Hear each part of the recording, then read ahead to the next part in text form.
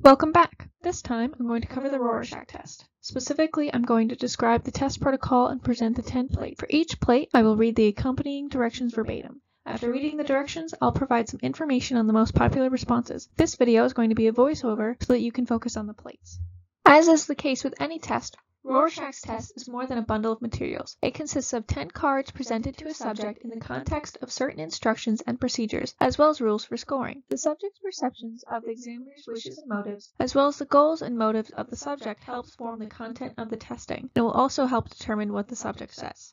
For these reasons, the variability in instructions among the common systems is unfortunate. Obviously, instructions and procedures must be consistent with one's ethical and professional responsibility to respect the patient's autonomy, beyond that the administrative procedures should be minimally intrusive to avoid establishing expectancies beyond the most complete possible reporting of the subject's thoughts. For these reasons, examination should begin by clarifying its purpose. When the testing is based on referral, the identity and the role of the referring professional should be explicitly clear, as should the nature of the report and the party or parties to whom it will be accessible. When the subjects are being tested for training purposes within a service setting, a school, clinic, or, hospital, it is important to clarify what extent a report will become part of the subject's record and what access he or she will have to it. It is also important to provide a means for such subjects to have answered retrospective questions about themselves or about the answered. For example, a graduate student might say, Hello, Mr. Tukey, I'm John Jay, a graduate student in clinical psychology. As part of my training, I have to learn to give certain psychological tests, and I appreciate you volunteering your time this way. Because this is a training exercise, there won't be any reports of the results in your school, clinic, or hospital records. Before we start, are there any questions you have? If questions occur to you at a later date, you can call Dr. Jones at 977 7777. The standard practice is to keep the various sources of clinical interferences as separate as possible, so often clinical interviews are conducted separately. Such interviews can be very informative, but are best done by somebody other than the tester whenever possible. For the seating arrangement, it is recommended that the examiner positions themselves so that the subject handling of the card can be observed and so that the examiner may comfortably write down the subject's responses and note behaviors. The position generally used is one which the examiner and subject are approximately side by side at an angle of approximately 45 degrees. The logic behind this position is that this allows an examiner to observe accurately while affording some privacy in recording. The purpose of the instructions is to establish a consistent set in the minds of the subjects being tested. The basics to be covered are that the patient will be shown 10 non-representational stimuli and asked to report all associations to them. The standard protocol is approximately this. I'm going to show you 10 cards, each containing a picture of an ink blot. I'll give them to you one at a time. I'll ask you to look at each card and tell me what it looks like. Spend as much time as you like on each card, but be sure to tell me everything that occurs to you. If the subject fails to give an association and tries to return the first card in less than two minutes, the examiner is to say, give yourself plenty of time. Most people see several things on each card. If the subject only gives one response to the first card and also spends less than two minutes searching for additional responses, the examiner is to say, give yourself plenty of time. Most people see more than one thing on each card. This urging procedure is to be repeated, if necessary, on the second card, but not subs subsequently. Requests by the subject for permission to turn the card or to respond only a part of the blot are acceded to as simply as possible. A yes will usually suffice. The principle of minimal intrusion by the tester holds true for most questions subjects pose about administration procedure. On the next slide, I will present the 10 plates. For each plate, I will read the accompanying directions verbatim. After reading the directions, I'll provide some information on the most popular responses. These popular responses are based on three studies. Beck and Piotrowski both used American samples, whereas Dana used a French sample. Their results were similar. When seeing card 1, subjects often inquire on how they should proceed, and questions on what they are allowed to do with a card, for example turning it, are not very significant. Being the first card, it can provide clues about how subjects tackle a new and stressful task. It is not, however, a card that is usually just difficult for the subject to handle, having readily available popular responses. The most popular responses were butterflies, moths, and bats. Some interpretation manuals prescribe that the response, animal face, suggests paranoia. The red details of card 2 are often seen as blood and are the most distinctive features. The responses to them can provide indications about how a subject is likely to manage feelings of anger or physical harm. This card can induce a variety of sexual responses as well. The most popular responses were two humans, a four-legged animal, nearly 50% focused on the gray aspects and often said they saw a dog, elephant, or bear. Card 3 is typically perceived to contain two humans involved in some interaction and may provide in information about how the subject relates with other people. Specifically, response latency may reveal struggling social interactions. The most popular response was two human figures. Over 70% focused on the gray aspects of the plate. Card 4 is notable for its dark color and its shading, posing difficulty for depressed subjects and is generally perceived as a big and sometimes threatening figure compounded with the common impression of the subject being in an inferior position, looking up to it, this serves to elicit a sense of authority. The animal or human content seen in the card is almost invariably classified as male rather than female, and the qualities expressed by the subject may indicate attitudes towards men and authority. Because of this, card 4 is often called the father card. Over 40% of responses were related to animal hides, or skins, and rugs. Card 5 is an easily elaborated card that is not usually perceived as threatening, and typically instigates a change of pace in the test after the previous more challenging cards. Containing few features that generate concerns or complicate the elaboration, it is the easiest blot to generate a good quality response about. The most popular responses were related to butterflies and bats. Texture is the dominant characteristic of card 6, which often elicits association related to interpersonal closeness it is specifically a sex card, its likely sexual percepts being reported more frequently than any other card, even though other cards have greater variety of commonly seen sexual contents. Similar to Plate 4, the most popular responses were related to animal hides and skins.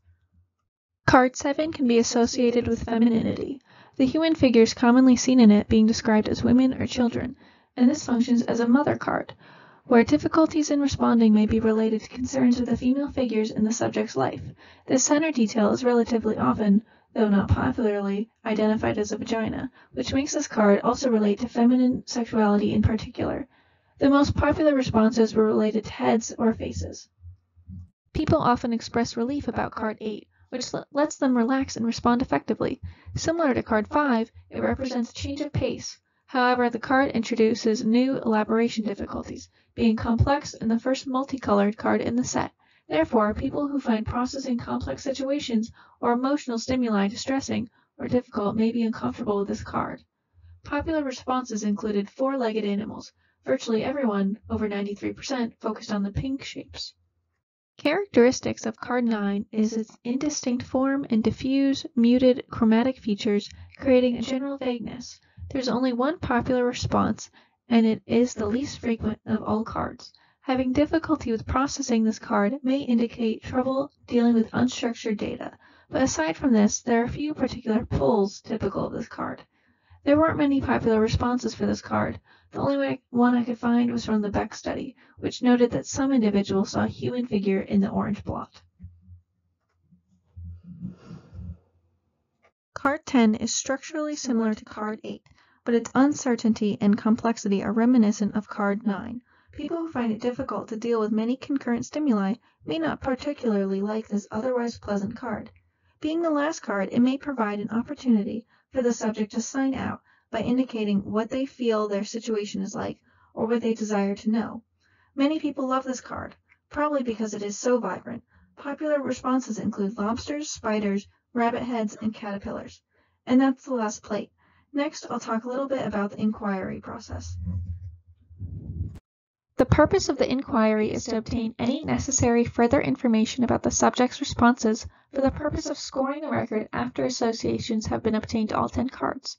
Typically, the administrator chooses to defer the inquiry until after the free association phase is complete because to introduce it after the first card tends to make subjects more cautious.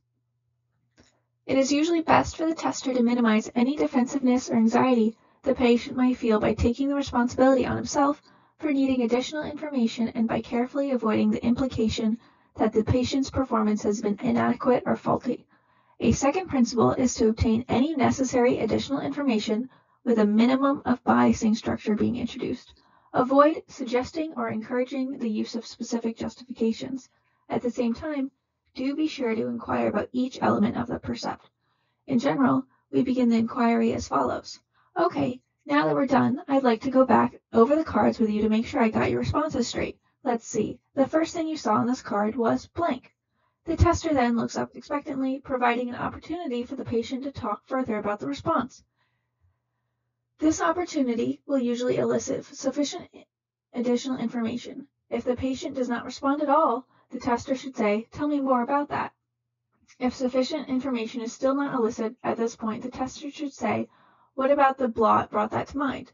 If sufficient information is still not available, we conclude that it will not be forthcoming without the introduction of biasing structure. Be sure to inquire about each salient aspect of the response, indicating in your notes in parentheses what you asked about. For example, free association. A scary bat? Inquire, why a bat? Why scary? The tester should specifically avoid asking the patient to trace the outline of the percept, which, which biases towards form, and asking about the importance of specific variables. For example, was the color important? Modifications in testing procedure are used in testing children 5 and 6 years old. Because this age group usually has not been well socialized into structured task performance, and because social expectations are less clear, it is necessary to be more explicit in informing these subjects of what is desired from them during the inquiry phase. Therefore, if sufficient scoring information is not forthcoming following the standard inquiry procedure, the examiner should ask directly for location and should repeat instructions such, but what exactly about this ink blot makes it seem like a bat? Exactly where did you see the bat? Very young children will, will often have difficulty justifying their responses by objective criteria, and may only have a vague notion of where the response is located.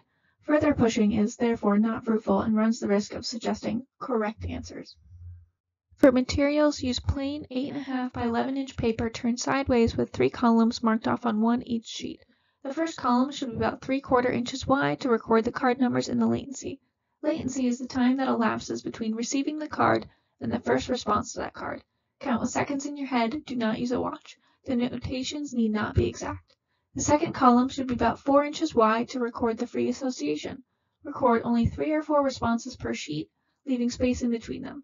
Number each response in succession. Be prepared with 10 or 12 sheets for each administration. For each response, note in which position the card was held when the response was given. Use carets with the point of the caret in the same position as the top of the card.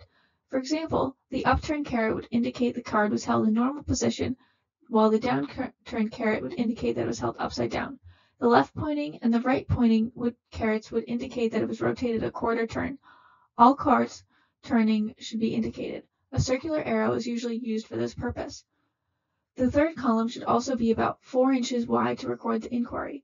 Put each response directly across from the free association response which it corresponds, labeling it with the same number. It is suggested that ink be used in the recording the free association and the inquiry.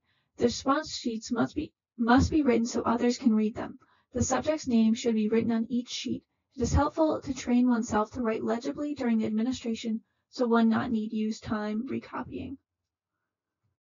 There are numerous scoring systems for the Rorschach. Many of these systems are proprietary. However, I can share general categories from the Bernstein-Lach scoring system.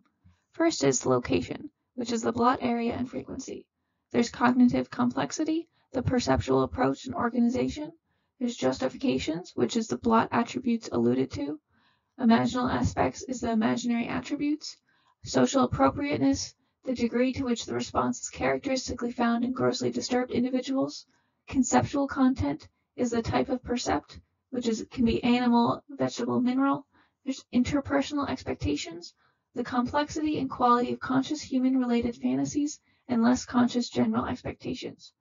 There's psychosexual drive and defense effectiveness is a psychoanalytical derived, perceptual cognitive characteristic, thinking style not scored elsewhere. These nine areas form the Bernstein-Lach scoring system. According to this system, these nine are the areas important to the assessment of the psychological functioning of the subject. Alright, so that wraps up the Rorschach test, and now you know too much about the Rorschach test procedure. Thank you for watching.